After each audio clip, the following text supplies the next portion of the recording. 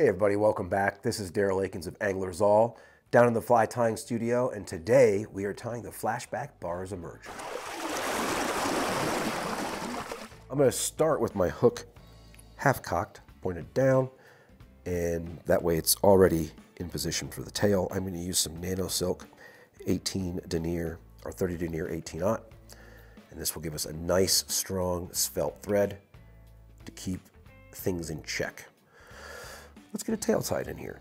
This is a pretty flexible situation. Any kind of rooster hackle or stiffer fiber for your tailing fiber is going to work. We don't have to do any kind of measuring. This will be a trimmed tail situation. So we're just looking to kind of get in there and get captured. I'll take the butts off to make it a little cleaner in my tie-in. And I am definitely gonna do a little pinch wrap there. A couple wraps down to make sure that we are going down the hook bend. And then we'll come up just to the hook point and trim these at an angle for our taper. Bang. All right, so the width of the hook gap is really where you want to trim your tail.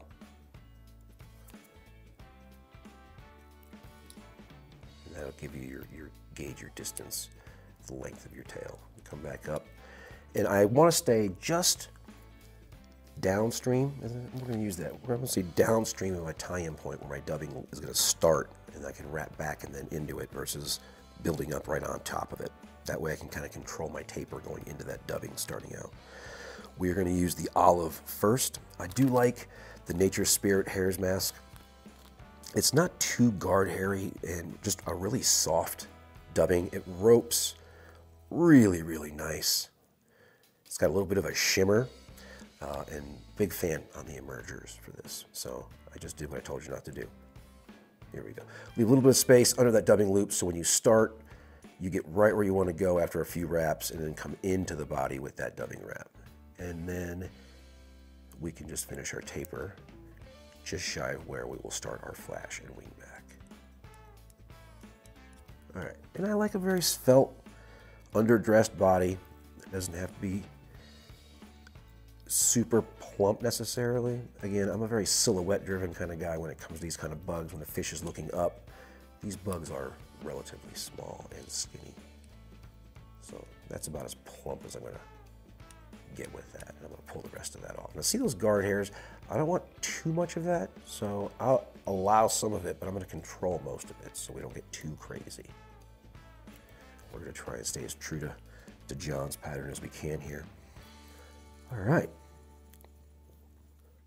And what I have here is the herringback Krystal Flash. And it is specifically the herringback that I like because it's got a couple of colors in it that I like. It's got a little bit of green, a little bit of blue, and it's not overtly one or the other. And I like the fact that it's got a little bit of something else in it and it's not just one. So I'm a big fan of that.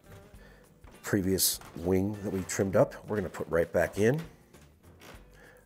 we are 100% in control of the situation as a tire. So unless you've slathered it down with a bunch of glue, we can just back it off and we can do our thing. It's, it's kind of nice. So you notice that Krystal Flash, a little longer than the feathers, it's going to serve us well when it comes time to organize these and bring them forward. That works out. I like the way that looks. I'm always measuring to make sure that I see how much wing back we have. If I feel that the the thorax isn't going to be enough, you can always go back and make sure you have enough for your thorax. It's a great way to kind of look to make sure you have enough to justify tying that material in. Rinse and repeat, but just with the gray.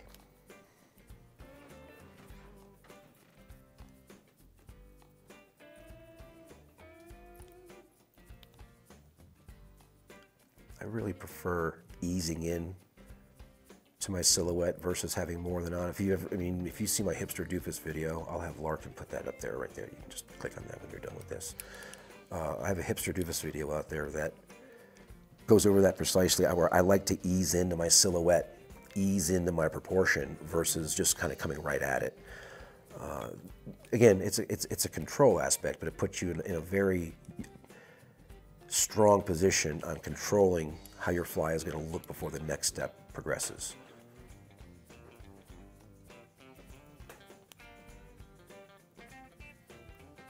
Pull our wing forward. And again, we've got room for everything up here. Hook eye is still fully visible. That's what we want. You can go ahead and split that wood duck, put one to the side, one to the other side, and go ahead and capture those. Keep them in place. Now, we'll do the same thing with our flash.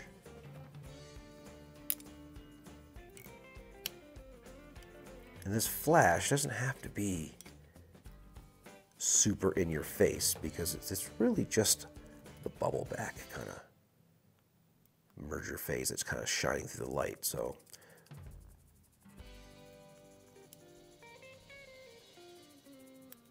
it needs to do is just shimmer.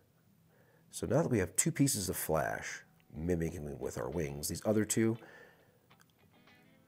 we're going to get out of there. And I'm going to lean my fly back so gravity works with me versus against me. And we're to go ahead and put a couple of whips in on there. And before I take my thread off, I'm going to do all my, my necessaries. That way if I have to go back in and clean or rescue, I'm already attached and ready to go. I'm a big fan of the cautery iron. You know, it's like when you really want to clean things up and burn your thread off the, the bobbin or off the, the, the fly, cautery iron's a great way to do it. But outside of that, man, you can really clean up a great fly with this bad boy. There we go. All right, we're nice and clean up there, and you can see now we're threading now. We don't have hair and fur all over there. We could use our scissors, but that's way cleaner. So you can see that we've got our wings lined up and we're looking to trim now. You want to trim just past the thorax there. So we're going to pull everything back together and come in just behind that thorax and trim a little on the long side by a few mil. Then come in and fine tune it. Way easier to fine tune it than just to get it on the first shot. And then just in case that first whip wasn't enough, here's our backup whip. And just a couple of trims here and there. If you want to hit this with a little Velcro brush and rough it up, go at it. But that right there is the Barr's Emerger Flashbacks version. We've got these in the bins at the moment, and we've got these uh, materials to come in and tie them up. So you can come in and tie them up and buy them up. Uh, Barr's Emerger here. Best fished, I would imagine, your 18s to 22s or whatever size uh, your local hatch has given you. So come on in and see us.